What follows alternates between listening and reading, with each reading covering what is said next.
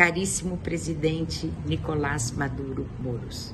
Desde o Foro de São Paulo, le saludamos com muita alegria en el marco de la preparación de Congresso de, los Pueblos del Mundo, por ocasião del bicentenário de la heroica e histórica Batalha de Carabobo. Também saludamos a todas as organizações sociais e políticas presentes nesta conferência.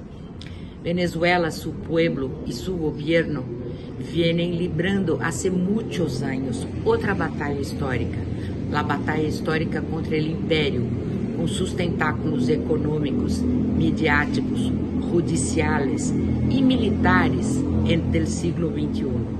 Esse pueblo, presidente Nicolás Maduro, luta e resiste para a glória e honor de toda nossa América.